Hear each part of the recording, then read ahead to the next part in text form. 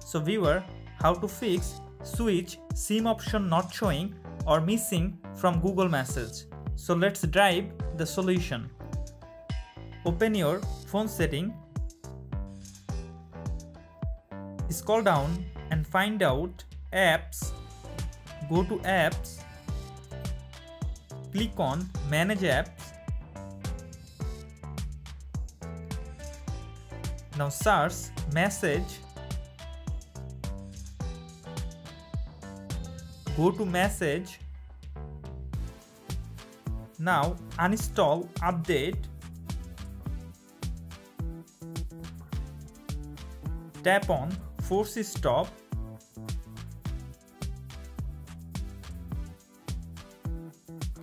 Now go back and search airplane mode. Turn on your airplane mode for a while and then again turn off go back and go to SIM card and network setting.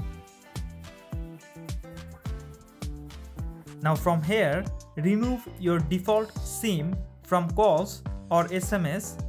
So always select ask every time. Now go to your message app and now you can select your SIM card from here.